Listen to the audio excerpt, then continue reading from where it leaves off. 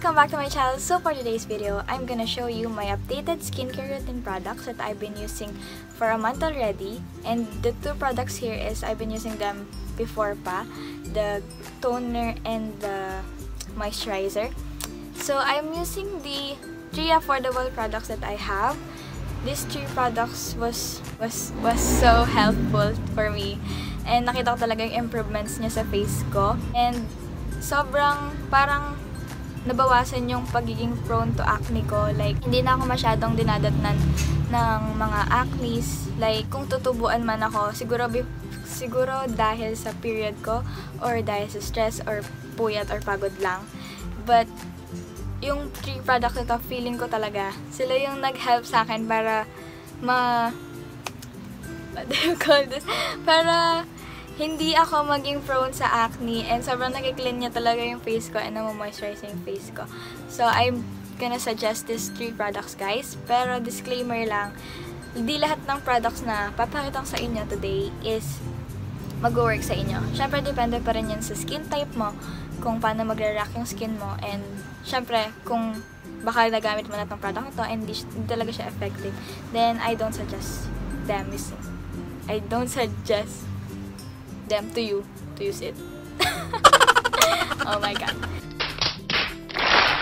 So, without further, let's get on to the video. So, kaka-uwi ko lang galing school and sobrang oily ko talaga kanina. Like, sobrang haggard ko. Well, medyo nabukas naman ng kahit konti. Nag-cleanse na ako ng face. So, my facial wash is, I'm using this facial wash from iWhite.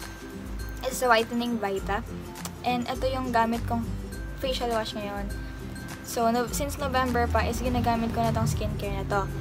Kung naalala nyo, meron akong product review ng product na to, pati yung moisturizer.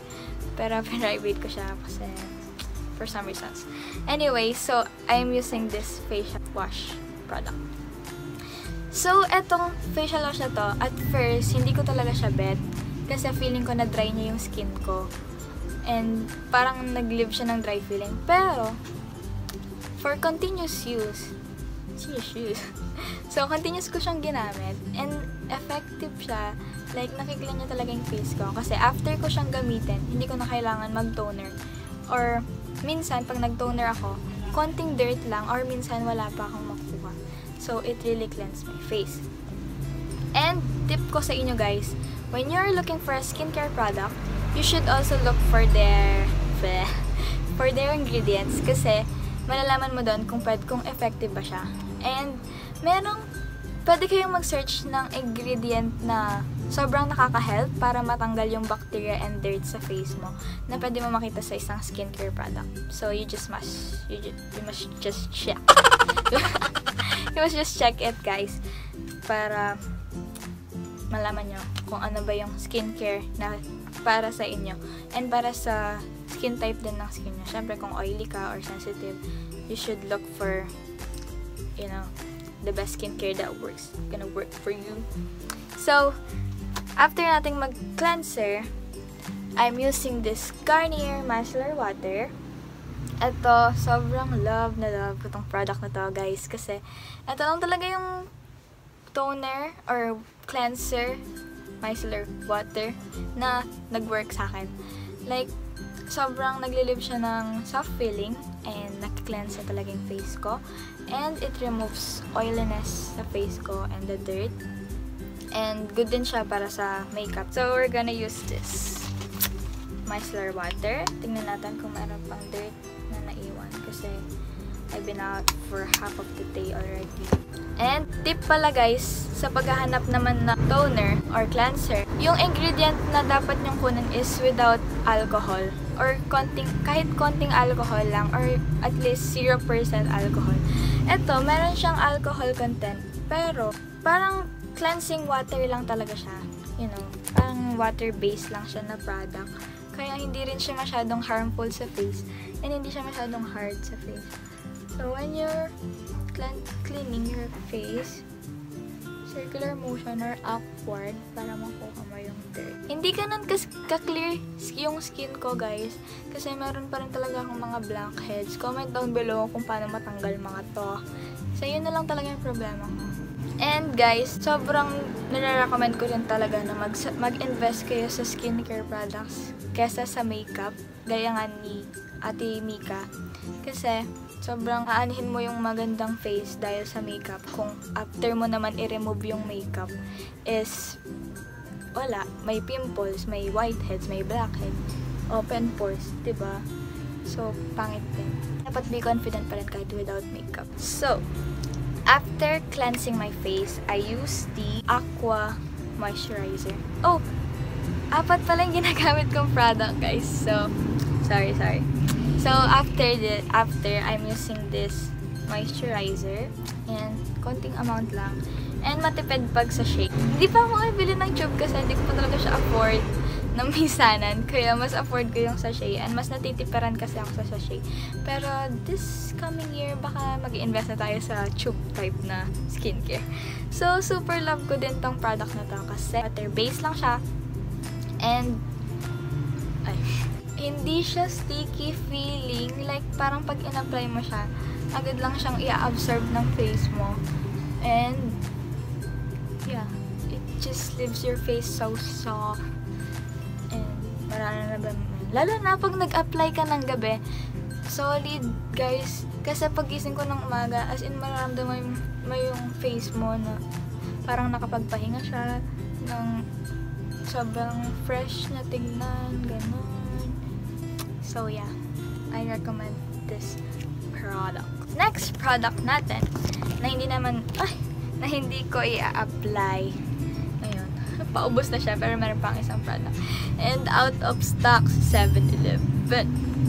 Hindi ko alam kung may tube type nito, hindi ko pa sa search. Pero, first time kong gumamit ng isang sunscreen product, guys. And sobrang nagustuhan ko to.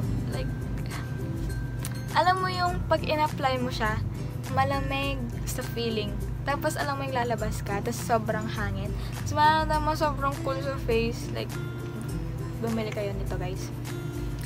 Etong sunscreen product na to, kasi 'di ba sabi nila, yung skin uh, yung sunscreen product or sunblock products is effective pag yung SPF niya is 50. So ito SPF 50 plus plus plus plus pa. So I suggest this product too, guys, kasi sobrang nakaka-fresh din siya ng face. And mabibili mo to sa 7-Eleven hindi ko lang alam kung mayroon sa Watsons. Hindi ko pa na-try tumingin. And kailangan ko na talaga maghanap kasi sunscreen is very important sa ating skin guys kasi sobrang harmful na ng sun ngayon like pag lumabas ka ng 9am onwards masakit na siya sa balat so kailangan natin ng sunblock or sunscreen to protect our skin from the sun kasi sobrang grabe, akala ko, hini-snap ko lang dati yung sunscreen. Hindi ko siya pinapakalaman, like hindi ako nag invest na bumili or maghanap ng sunscreen. Pero recently, ang dami kong YouTubers na namanood na sobrang uh, sobrang must have talaga yung isang sunscreen product. Kaya, ayun, tinry ko yung sunscreen product na yun and sobrang nagustuhan ko siya. So, ayun, that's it guys for this video. Sobrang sinasuggest ko yung mga products na to, pero isipin niyo pa din kung ano yung skin type nyo and kung ano ba yung product na dapat sa inyo. Like, tingnan nyo muna yung ingredients, mag-search muna kayo kung sino-sino yung mga gumagamit ng product na to. Like, product reviews, something like that. And, um, pag nag-i-skincare kayo guys, pag ginamit nyo yung isang product, don't think na you buy now and ganda overnight. So, hindi siya ganon, guys. Kasi, kailangan mo talaga ng mag-exert ng effort and sobrang paghihintay lang, patience, ganon. Kasi, hindi naman, pag in-apply mo yung isang product is effective na siya agad-agad. Like, pagtulog mo, pagising mo, wala ka ng acne, ganon. So, it takes time, guys. Like, continuous use mo lang yung product na yon if wala naman siyang bad effect nung ginamit mo siya. Like, wala siyang side effects, ganon.